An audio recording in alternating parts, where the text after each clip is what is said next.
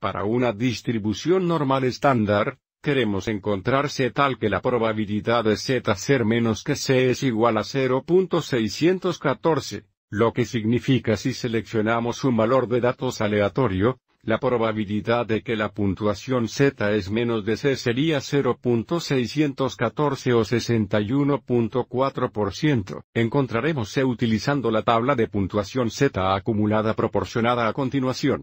Pero antes de hacer esto, aviso como esta probabilidad es mayor al 50%, así que debemos avisar que la puntuación Z sería positiva porque cuando Z es 0, el valor de los datos sería el medio y por tanto, el 50% de los datos sería menos que z igual 0, y 50% sería mayor que z igual 0.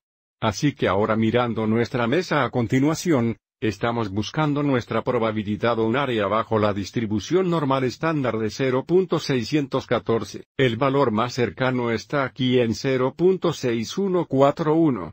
Aviso como la puntuación z para esta probabilidad para esta área sería 0.29. Entonces, digamos que C es aproximadamente 0.29.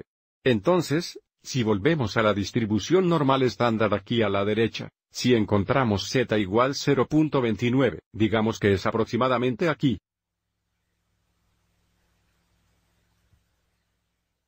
Entonces el área a la izquierda bajo nuestra curva sería aproximadamente 0.614, que también sería la probabilidad